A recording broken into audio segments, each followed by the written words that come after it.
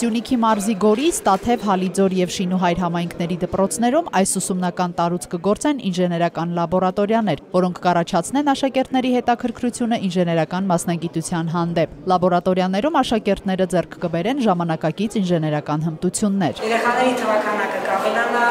երեխաները կկարողանան արտաքին աշխարհի հետ ավելի սերտ կապներ գտնել։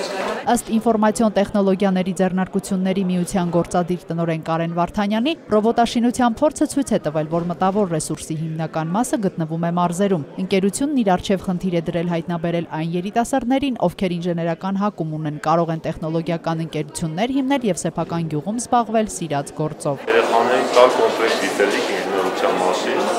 դրանով իսկ ունենալ մրցունակ աշխատուժ Հայաստանի զարգացման նախաձեռնություններ հիմնադրամի գլխավոր տնօրենի պաշտոնակատար Էդգար Մանուկյանը համոզված է, որ գործընկերների հետ լուրջ արդյունքների կհասնեն։ Ունենանք մի հատ ռոբոտ, կբացենք տիեզերքում նոր աստղեր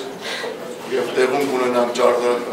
ինժեներներ աստղեր աշխարհով հայտնի։ Լաբորատորիայում տեղադրված Գուգարք մինի համակարգիչները իրենց օպերացիոն համակարգերով երաչափ տպիչը եւ մնացած բոլոր սարքերն արտադրված են Հայաստանում։ Սա նպատակ ունի երեխաների շրջանում ամրապնդել արտադրված է Հայաստանում կարգախոսը։ Ձեռաչափ տպիչը արտադրվում է Գորիս քաղաքում, մենք ենք արտադրում։ Նորաստեղծ 4 լաբորատորիաներում ներգրավված կլինի 50 աշակերտ։ Ուսուցիչները նույնպես ընտրվել են մասնագիտական կրթություն եւ հմտություններ ունեցող տեղաբնակ մասնագետներից։ Ինժեներական լաբորատորիաները հիմնադրվել են ինֆորմացիոն տեխնոլոգիաների ձեռնարկությունների միության նախաձեռնությամբ եւ Հայաստանի զարգացման նախաձեռնություններ հիմնադրամի ֆինանսական աջակցությամբ։ Լիանա Ներսիսյան, Արթուր Նուրիջանյան, ժամը լրատվական։